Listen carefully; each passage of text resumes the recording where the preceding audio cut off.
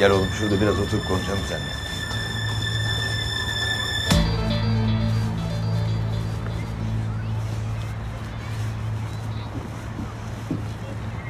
Ne dedi öğretmen veli toplantısında? Arkadaşlarınla ilişkilerini düzeltmişsin.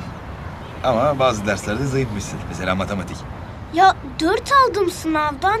Nasıl zayıf olur? E oğlum ondan önce de iki almışsın ama ne haber? He? Boş ver üzülme. Benim de matematiğim kötüydü. Belli ki bana çekmişsin. Bak sana bir tane hediye aldım. Bakalım beğenecek misin? Süper. Herkesin vardı sınıfta. Oyun oynuyorlar hiç bana vermiyorlardı.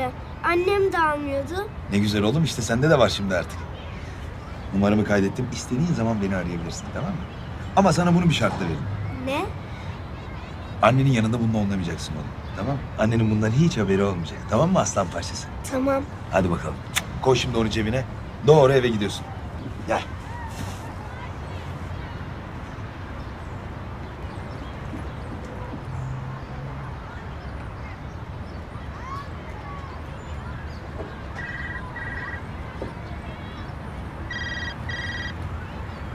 Ne var ne oldu yine?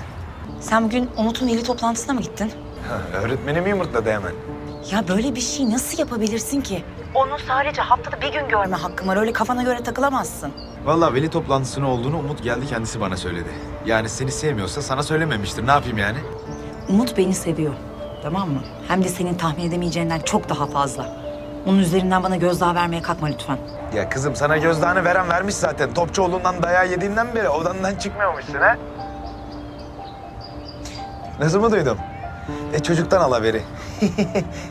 Bak çocuğu yanına çekmeye çalışıyorsun ama bunu yapamayacaksın. Çocuğum senin gibi bir cani olmayacak tamam mı? Onu senden koruyacağım Ertan.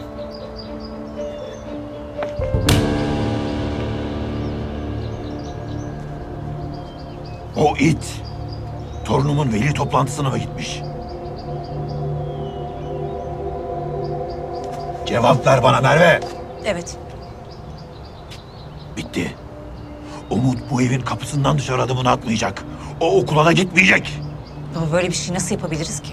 Bitti artık bitti. Okula gitmeyecek. Gerekiyorsa ona özel öğretmenler tutacağım. Eğitimini onlardan alacak. Mesele eğitim değil ki. Çocuğun arkadaşları ne olacak? Ya sırf Ertan onu görmesin diye bir yabani gibi evin içinde mi yetiştireceğiz Umut'u? Sen de annelik yap. Çocuğu yanına çek o zaman. Bak nasıl kullanıyor Ertan Umut'un ona olan sevgisini. Kim bilir nasıl konuşuyordur, nasıl dolduruyordur çocuğu hakkımızda. Ne yapayım ona gerçekleri mi anlatayım? Umut'cum senin baban dedeni vuran cani ruhlu bir adamdır. Böyle mi söyleyeceğim çocuğa? Onun üzerindeki travmatik etki bir düşünür müsün lütfen? Travma, travma. Herkesin ağzında bir travma. Ben anlamam böyle travma mıravma. Ben yaramazlık yaptığım zaman babam indirir tepemize kızılcık sopasını.